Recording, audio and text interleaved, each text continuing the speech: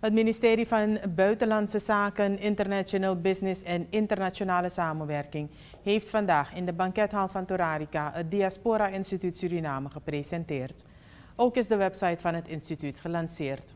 Met dit instituut zal verder inhoud worden gegeven aan de economische, culturele en sportsamenwerking tussen de diaspora-gemeenschap en Suriname. Dat zegt minister Albert Ramdien.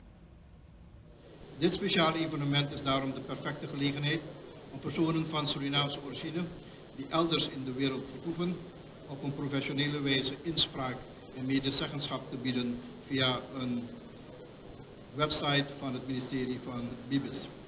De verschillende directoraten van het ministerie en in dit geval met name personenverkeer zullen weerspiegeld zijn in het Diaspora Instituut Suriname, waarvan de Diaspora website een cruciaal element en instrument zal zijn en voor velen het eerste contactpunt.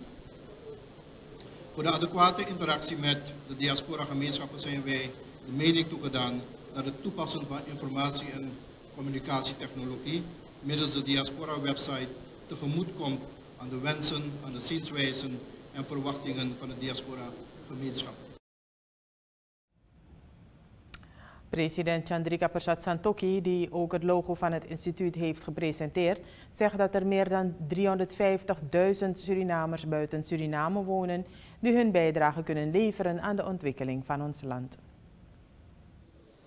Wij willen u de mogelijkheid bieden om vanuit uw standplaats uw netwerken te gebruiken om investeringen aan te trekken om Suriname te branden voor toeristen, maar ook voor het aanboren van afzetmarkten. Maar wij willen ook dat u onze ambassadeur moet zijn bij het uitdragen van Suriname in de rest van de wereld. Drie, wij willen u concreet interesseren voor het aanreiken van informatie en communicatietechnologie voor afstandsonderwijs.